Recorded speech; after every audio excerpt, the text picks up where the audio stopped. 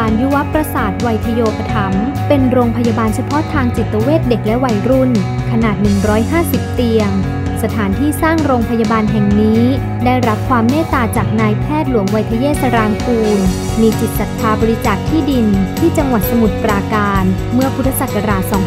2506เริ่มให้บริการรับตรวจรักษาผู้ป่วยนอก เมื่อวันที่ 26 ตุลาคม พุทธศักราช 2508 โรงพยาบาลยุวประสาทวัยทโยปถัมเป็นชื่อที่ได้รับพระราชทานมาจากสมเด็จพระอริยวงศาคตยาน จวนอุทายี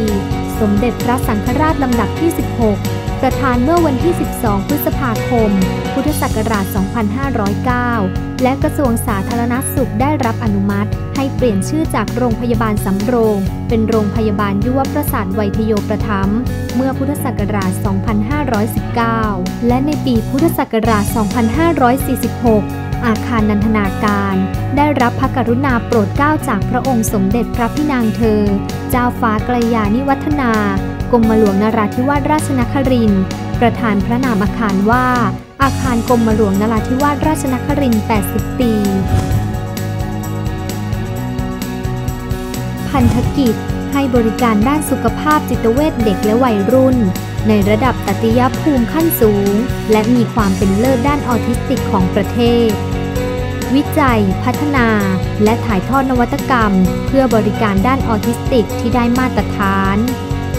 ฒนากำกับติดตาม รับรองมาตรฐานระบบบริการ ในเครือข่ายระบบสุขภาพ เพื่อให้ผู้ป่วยออทิสติก เข้าถึงบริการที่มีคุณภาพ ผลิตและพัฒนาบุคลากรที่เกี่ยวข้อง ให้มีความเชี่ยวชาญด้านออทิสติก และจิตเวชเด็ก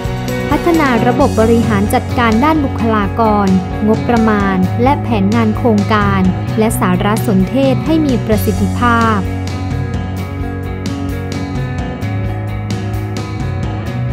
เด็กออทิสติก เป็นเด็กที่มีความผิดปกติทางพัฒนาการ ทางด้านสังคม อารมณ์ การสื่อความหมายและจินตนาการ ซึ่งมีสาเหตุอันเนื่องมาจาก หน้าที่บางส่วนของสมองผิดปกติไป ในกระบวนการรักษาที่บรรลุผลการรักษาที่ดีขึ้นจำเป็นต้องใช้การผสมผสานองค์ความรู้ของสหวิทยาการ และนำมาใช้ปฏิบัติการอย่างเป็นระบบ พื่อให้เด็กได้รับการกระตุ้นพัฒนาการทุกๆด้านไปพร้อมๆกัน โดยมีเป้าหมายสำคัญคือ สามารถส่งเด็กเข้าสู่สังคมและโรงเรียนได้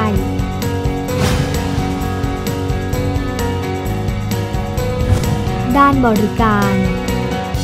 งานบริการผู้ป่วยนอก ให้บริการผู้ป่วยที่มีความบกพร่องทางพัฒนาการทุกด้าน อายุไม่เกิน 10 ปี ส่งเสริมพัฒนาการรายบุคคล กระตุ้นพัฒนาการผ่านกิจกรรมการเล่น ให้บริการร่วมบำบัดรักษาผู้ป่วย จิตเวชเด็กและวัยรุ่น ที่แพทย์ได้ประเมิน และส่งมารับบริการทั้ง OPD IPD ระบบงานผู้ป่วยใน ให้บริการผู้ป่วยใน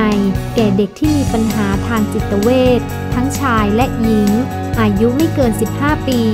รวมทั้งทำจิตบำบัด โดยการฝึกอบรมผู้ปกครอง เพื่อให้ร่วมรับผิดชอบ และสามารถช่วยเหลือเด็กแต่ละครอบครัวด้วยตนเอง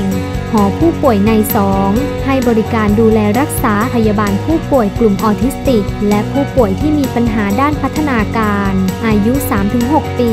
แบบเช้ามาเย็นกลับ โปรแกรมการส่งเสริมพัฒนาการ โดยผู้ปกครองมีส่วนร่วมในการบำบัดหอผู้ป่วยใน 3 ในการพยาบาลผู้ป่วยจิตเวชเด็กและวัยรุ่น ออทิสติก low function อายุ 6-15 ปี แบบเช้ามาเย็นกลับ เน้นด้านการช่วยเหลือตัวเอง ในการทำกิจวัตรประจำวัน กลุ่มส่งเสริมพัฒนาการ โดยผู้ปกครองมีส่วนร่วมบำบัด หอผู้ป่วยใน 4 แบ่งเป็น 2 กลุ่มได้แก่ moderate function high function เน้นพัฒนาทักษะทางสังคม และปรับพฤติกรรม กลุ่มเตรียมพร้อมไปโรงเรียน การศึกษาพิเศษ โครงการเข้าค่ายปิดเทอมใหญ่ หอผู้ป่วยใน5ให้บริการพยาบาล ผู้ป่วยจิตเวชเด็ก และวัยรุ่น ที่อยู่ในภาวะวิกฤต และฉุกเฉิน สร้างความสัมพันธภาพเพื่อการบำบัด การจัดสิ่งแวดล้อมเพื่อการบำบัด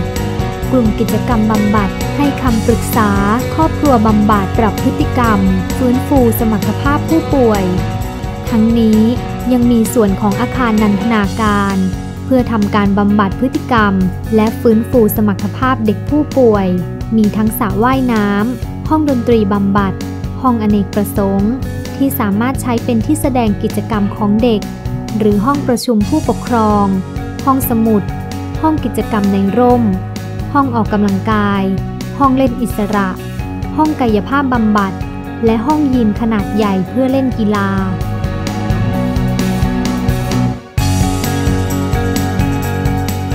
โรงพยาบาลยุวประสาทไวยทโยปถัมบริการด้วยรักและเมตตา เสริมพลังและคุณค่าให้ครอบครัว